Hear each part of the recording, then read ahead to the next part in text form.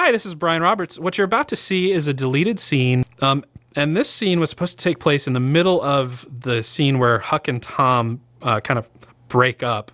And what I was trying to do was to to give the viewer a, a more emotional connection to what Huck was giving up. And I thought, well, how could I do that? I could show them what Jerkyland would be like.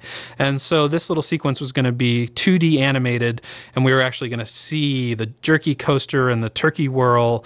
Uh, and the things he passes out to the kids at the end are actually jerky balloons, uh, if you couldn't tell. And I wouldn't blame you if you couldn't. Uh, so here we go. Here's Huck's vision of Jerkyland. Look, Huck, if we leave right now, we still might be able to make it back before the government man shows up. Have you forgotten about my tax office? And Jerky Land?